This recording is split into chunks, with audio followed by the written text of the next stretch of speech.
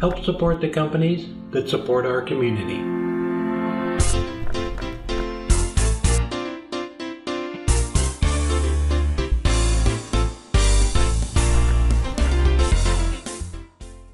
So this is going to be the base of the box and it's two inches, about two inches thick by four and a half inches in diameter.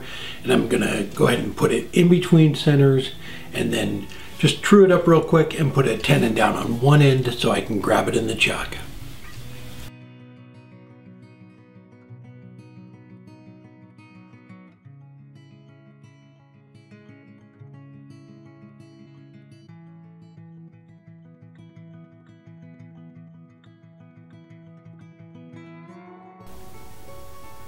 So I have the lathe speed at 3000 RPMs and I'm using a spindle gouge. I'm shaping the outside of the box and then creating the tenon on the base of the box.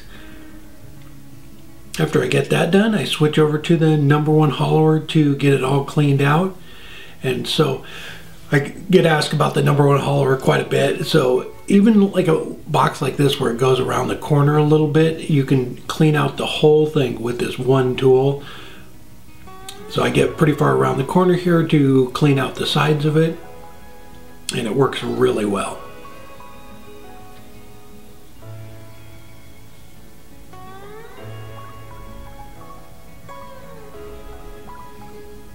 After I got it all hollowed out, went ahead and sanded the inside and outside of it, ran through all the grits up to 600 and then flipped it around and used the jaws to expand and hold on to it.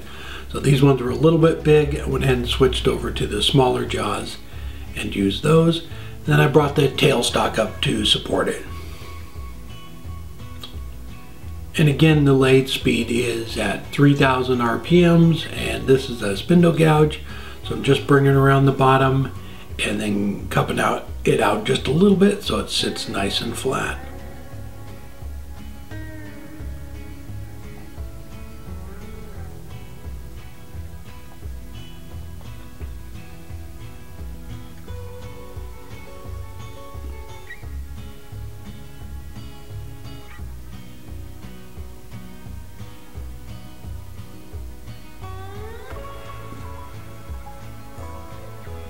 After I got it all cleaned up, I went ahead and ran through all the grits on this again up to 600. So I'm going to switch back over with the spur center and so this is the same diameter and thickness as the last one and this is going to be for the lid.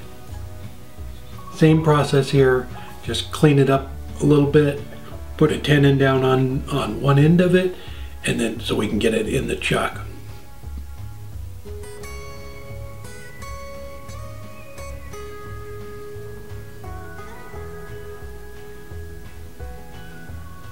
So with this one, I'm going to match that tenon that I just made on the bottom of it. So I'm using the calipers to measure that and I'll put a mark on the top of this with that. So I'll create the recess here for the tenon. And for that I use a parting tool, just clean up the sides of it and then switch over to the number one hollower to clean out the center of it.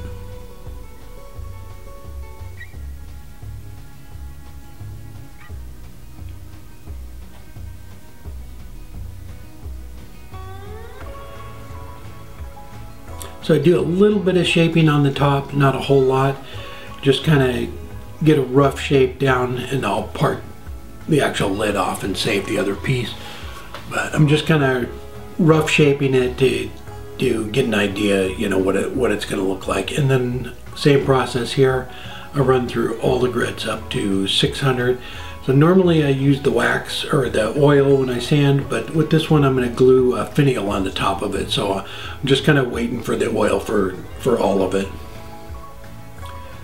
After I get that done, after get it all sanded up, use a parting tool to part it off, and then we'll mount it back on the chuck using that recess and have the jaws expand and hold on to it so we can clean up the top of it.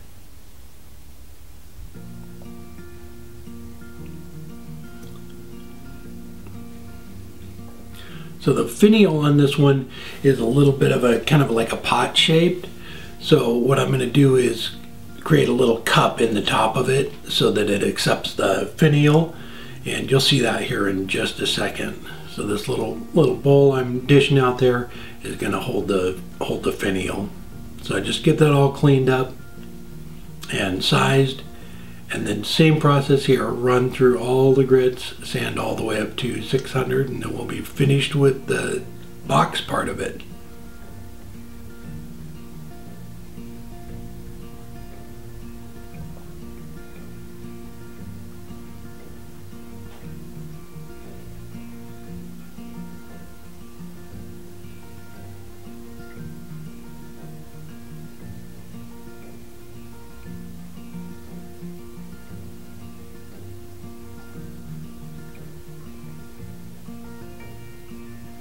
So for the finial, I'm going to use a piece of monkey pod I got from a friend of mine. Trent gave me this. It was a pretty big piece. I cut up this, this chunk of it, so it's a nice straight grain. So what I'm going to do is I glued a, a threaded insert into it so I can mount it onto the Joyner jig. So I put it in between centers. It's all, everything at this point is running true on it. So we'll go ahead and get it trued up and then create that little, little pot shape on the bottom of it. And again, the lathe is still at 3000 RPMs and I'm using a spindle gouge on this.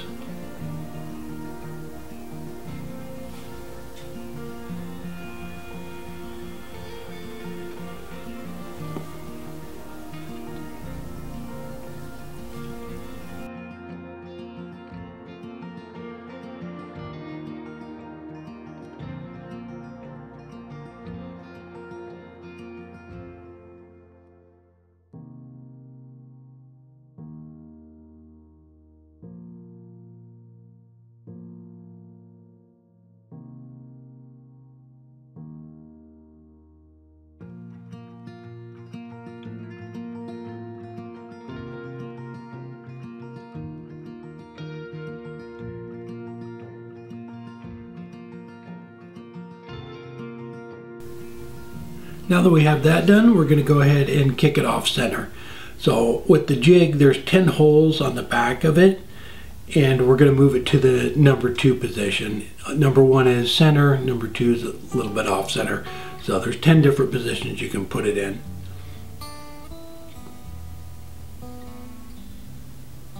So, and with this, when I always, always before the lathe, you turn the lathe on, make sure it's not going to hit the tool rest. And again, with this, the lathe speed is at 3,000 RPMs. So when it's running fast like that, it's safer to do stuff like this. And you could see that ghosting in it. So you, you know where you're cutting. So just take light little cuts. But the faster you have the lathe going, the better it is, especially for something like this. So I'm using a, a half inch spin, uh, I think it's a half inch or five, maybe it's five eighths spindle gouge to start out with just to clean off some of the material and then I'll switch over to a smaller one when I start refining it.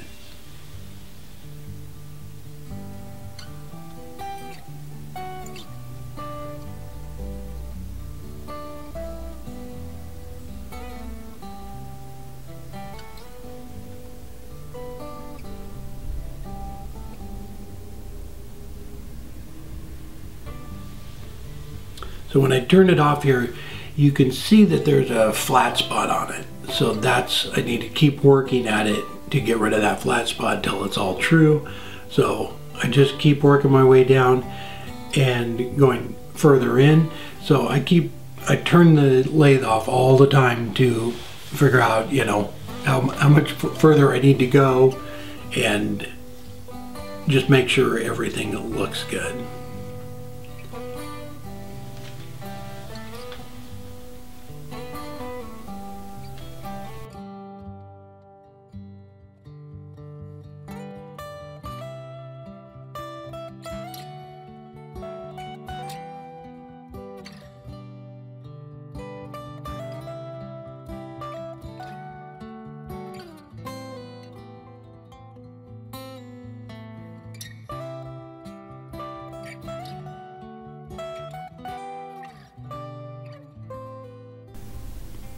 You can see there and everything is running true and that little flat spot is gone.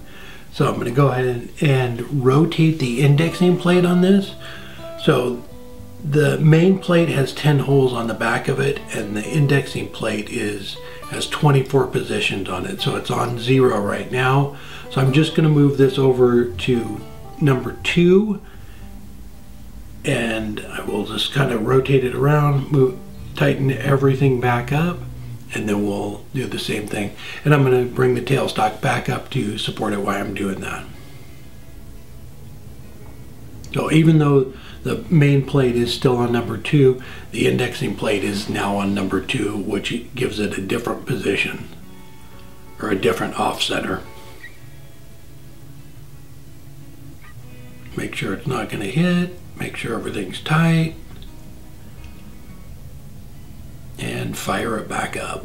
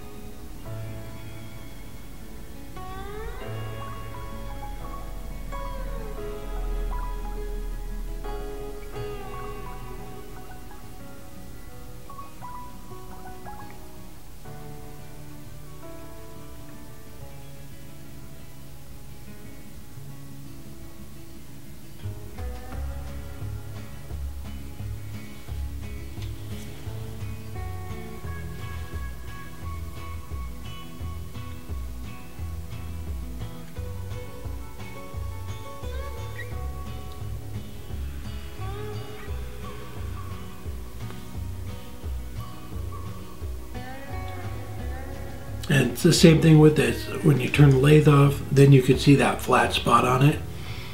So we're to go ahead and just keep working at it.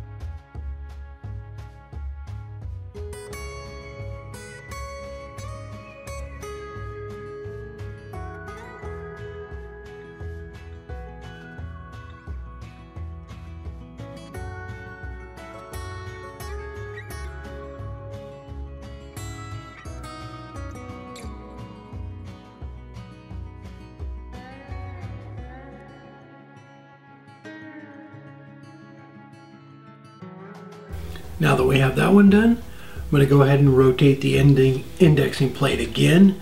So I'm going to move it back to zero and do the final top one.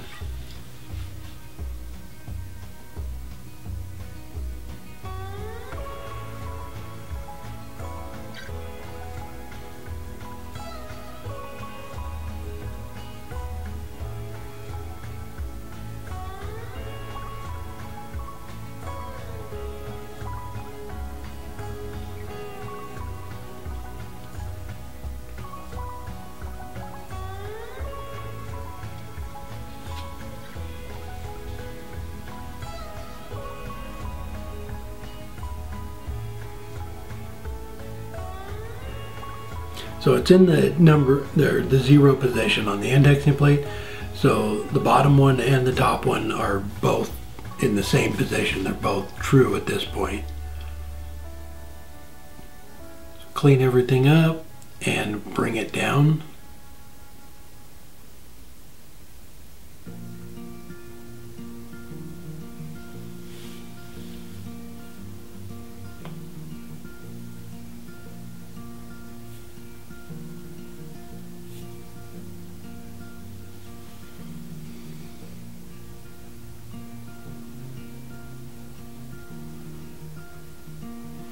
And it's the same thing with this. I turn it off every once in a while, see where I'm at, and just go ahead and keep working my way down, back down it until I get rid of that little flat spot.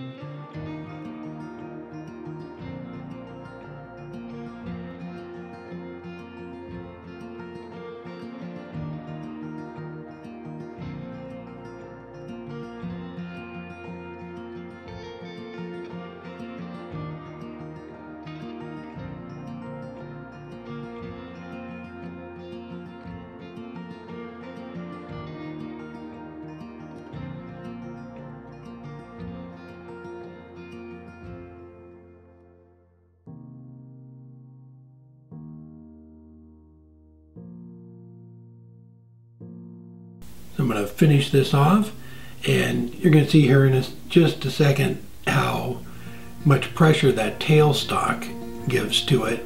So when I do break it, finally break it free, it isn't running true and it's because the tailstock's up there holding a lot of tension on it.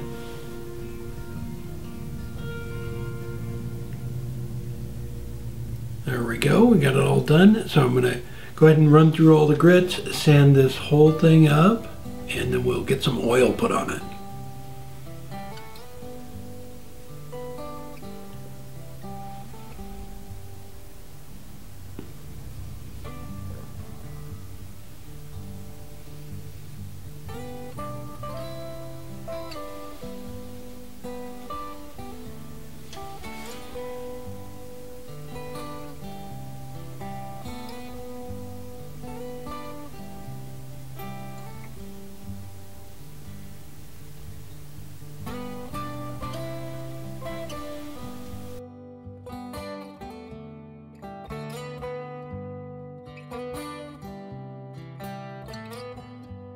No, it's not mustard. I just keep the wood glue in a mustard bottle. So I just used some Titebond 2 and glued the finial to the top of it. And we'll, now we'll get some oil on the, the box.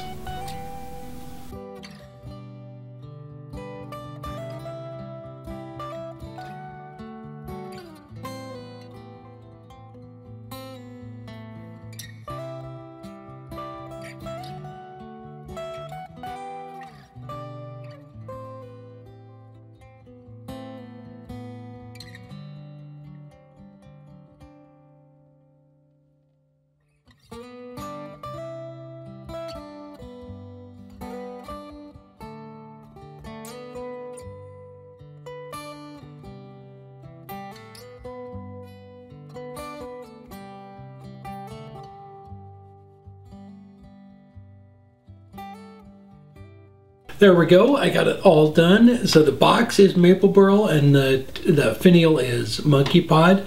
I haven't turned much monkey pod. I used to make these little stands out of it years ago, but I haven't actually turned much of it. It actually turns really nice and it's a nice dark wood too. So I think it came out really nice. It's uh, four and a half inches diameter and six and a half inches tall. So about eight, eight nine months ago, we were at a show and we had a lidded box there that Robin just loved it, and we had it as, as a display piece. And a friend of hers fell in love with it, so she said she could have it if I promised to turn her another box. And this is the style that she fell in love with. So I finally got it done months later.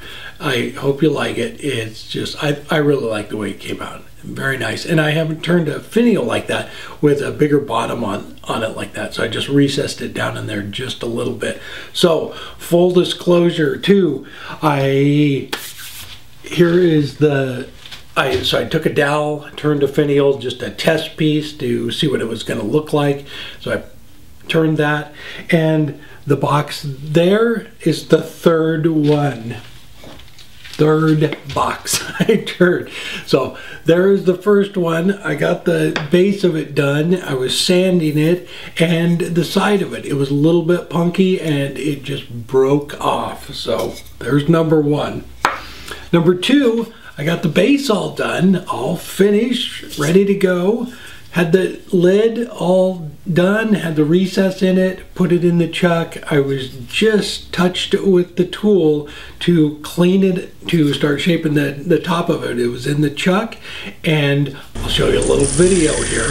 It, as soon as I touched it with the tool, the part, the, the recess, right where it goes together, right there, was way too thin. And so the, the where it came over the tenon, and there was just hardly any wood there. As soon as I touched it with the tool, it just just exploded. Anyway, number two, and number three. It finally got got it done. All right, it was a fun project. I hope you enjoyed it. Uh, we're not going to have a video next week, but I hope everybody has a wonderful Christmas and Happy New Year and Happy Holidays. All right, we'll see you next time. Take care.